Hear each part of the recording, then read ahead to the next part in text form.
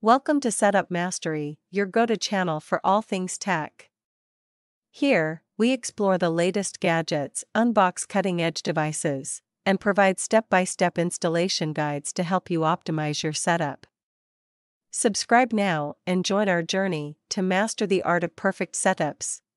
In this quick and easy video, I'll guide you through the steps to set up your BT Wi-Fi Extender 300 using the WPS method. It's the simplest way to extend your Wi-Fi coverage, no cables, no apps, just a fast, hassle-free connection. Begin by carefully unboxing your BT Wi-Fi Extender 300. Inside the box, you'll find the extender unit along with a quick start guide. Gently remove the extender and ensure it's in good condition before proceeding to the setup process. Begin by plugging your BT Wi-Fi extender 300 into a working power socket. Ensure the device is properly connected and switched on. Now, wait patiently for the power light to turn solid green, indicating that the extender is fully powered and ready.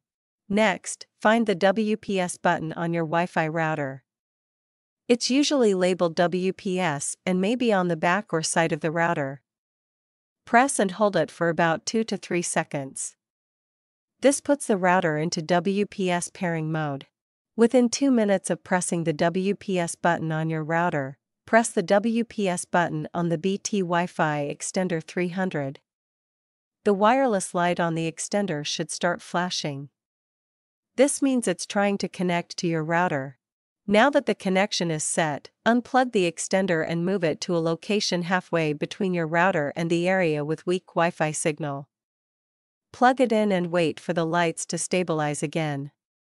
Make sure the signal is still strong. Grab your phone or laptop and connect to your Wi Fi. Test the speed in the area where you had issues before. You should now notice a much stronger and more stable signal. If you run into any issues or need assistance, our dedicated support team is always ready to help.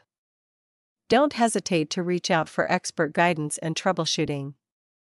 Call us at 1 323 507 3713 for prompt and reliable support. And that's it. You've successfully set up your BT Wi Fi Extender 300 manually without using WPS.